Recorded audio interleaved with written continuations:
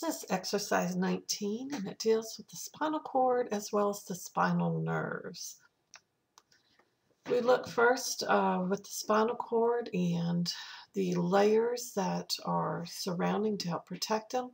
These are the spinal meninges. They're the same layers as what we saw with the cranial meninges.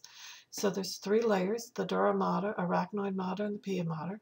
They actually are continuous with the cranial meninges. And then also keep in mind you've got your cerebral spinal fluid that is filling that subarachnoid space. So in this diagram you can see uh, the three different layers. The pia mater is going to be attached directly to the spinal cord, just like the pia mater and the cranial meninges is attached directly to the brain. The outermost layer, more superficial layer, is the dura mater.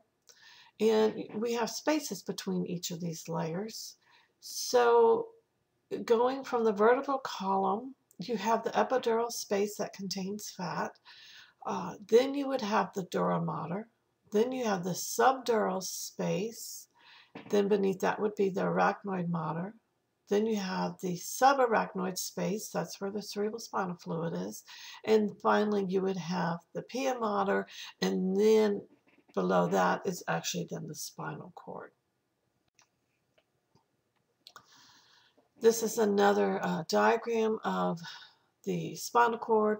Once again, the three meningeal layers are labeled as you can see, the pia mater, arachnoid mater, spinal dura uh, mater, that the, the three layers. When you look at the spinal cord itself, notice a few different things. In the middle, the very center is what we call the central canal. Cerebral spinal fluid is also flowing here. You have the ventral median fissure and then the dorsal median sulcus, which almost uh, divide the spinal cord in half. It's not completely all the way through, but it does make it easy to see a left and right side. The other thing to notice on here is the gray matter versus the white matter. The gray matter is often described as being in the shape of a butterfly, with the central canal would be representing the body of the butterfly. And then you've got, quote unquote, the wings. With the gray matter, uh, this is located in the interior portion of the spinal cord with the white matter being more superficial. And if you remember from the spring, the brain, this is reverse. In the brain, you have the gray matter along the cortex area, and then inferior to that would be the white matter. So it's reversed in the spinal cord. With the gray matter, we do divide the sections up into what we call horns. And as you can see, the names are by the location. So you have the dorsal horn, the ventral horn, and the lateral horn. That's true on each side. The gray commissure is the area where the gray uh, matter is passing by the central canal and connecting one side with the other. For the white matter, it can be called either columns or funiculus. You can use either term. And once again, the name is given by the location, dorsal, ventral, or lateral column or funiculus. The spinal nerve is going to be the nerve that's part of the peripheral nervous system as it innervates the rest of the body. It is not part of the spinal cord. However, it is going to come in and attach to the spinal cord. If you notice on this diagram, you have the spinal nerve coming in. I think it's easy to see on this diagram how then it splits into the dorsal root ganglion is that swelling area and proceeds to the dorsal root that then connects to the spinal cord. And then you also have the ventral root. So directly attached to the spinal cord itself will be your dorsal root and your ventral root. They will come together and merge to form that spinal uh, nerve. The pia mater, back to the spinal meninges, has a couple of features. The filum terminale down at the most inferior portion um, at the end of the spinal cord. And then throughout the spinal cord, you have the denticulate ligaments. Both of these features are helping to attach the pia mater to the spinal cord. If it's a, uh, a membrane, it can't be slipping and sliding all over the place. It has to be attached. So this is where, how it is physically attached to the spinal cord. This is showing uh, representative drawings of both of these features and the attachment. The spinal cord begins at the foramen magnum. That's how it uh, passes through the skull. And it's attached through the foramen magnum uh, to the brainstem. The spinal cord will extend down to about the L1, L2 vertebrae and where it ends, it kind of forms this cone-shaped structure, and that, that is referred to as the conus medullaris.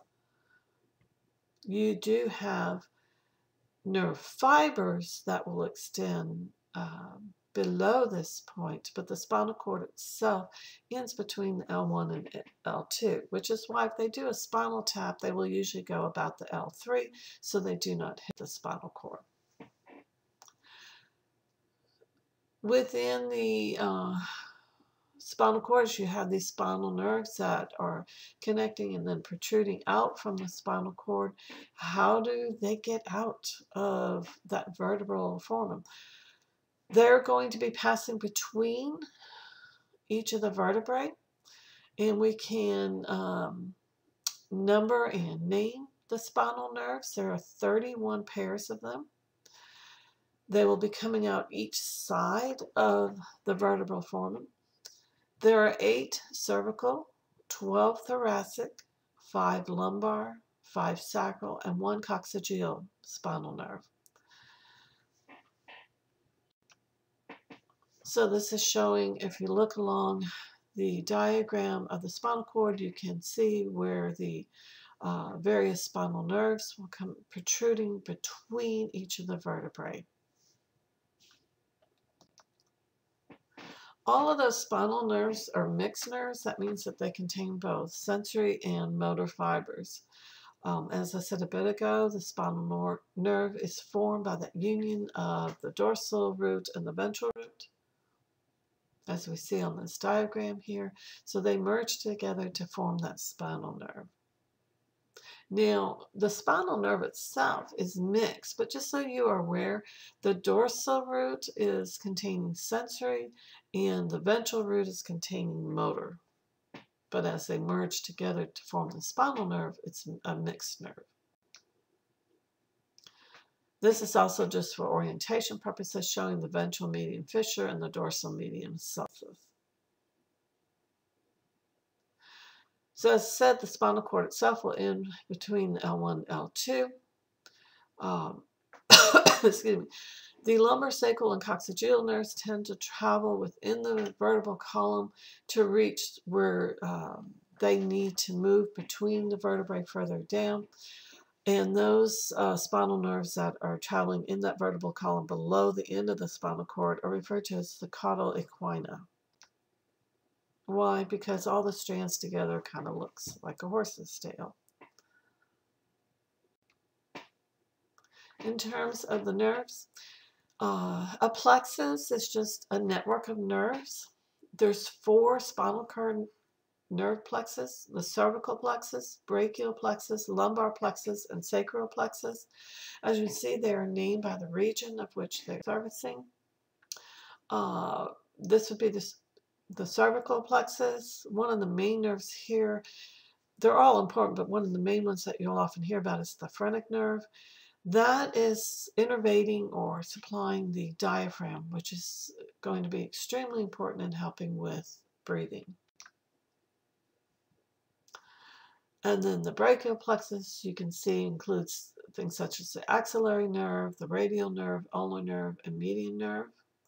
They're servicing the upper limb, the upper arm. The femoral nerve is innervating uh, the quadricep muscles of the thigh and then also the knee. The sciatic nerve is servicing the lower um, part of the leg. It, it can actually service all the leg, but especially the lower part of the leg. This is the longest and the thickest nerve that's in the body. From clinical um, aspects, when someone receives an epidural block, what they're doing is uh, the anesthesiologist will be injecting the, the medication into that epidural space. What it is going to do is block so you do not have the sensation of, say, pain um, for the area. And we know exactly where to inject this between which vertebrae uh, so we know which area it's going to affect uh, for which nerves that you're wanting to block the, the pain sensation. Um, that epidural space is, is pretty narrow, so just hopefully the person's had a lot of training with it. Um, it there is some risk involved with it. Uh, for women who have had um, children, if you chose to have an epidural block, they would be injecting between the L3 and the L4. Sciatica is um, a condition that a lot of people have where the sciatic nerve is either injured or it's compressed, it's pinched, and so you're getting this uh, pain sensation. Because this is the longest nerve, you may feel pain all the way down your leg and even to your toes. Some people complain about numbing of their toes even. One thing that may help some individuals that they have found with who suffer from sciatica, a lot of people who do a lot of sitting, especially while driving, truck drivers, things like that, um, end up suffering from this. One thing that may give a little bit of relief is, and this may sound crazy, but especially for men, men typically, where do they put their wallet? In their back pocket, and then they're sitting down on it. And that when you're sitting with something in your back pocket, it gets you a little bit off tilt, and that can cause some problems. And sometimes they have found that if you just remove items from your back pocket before you sit down, especially if you're going to be sitting for a long time, like I say, truckers, you know, cross country drives, um, that's a long time sitting, especially if you're off tilt.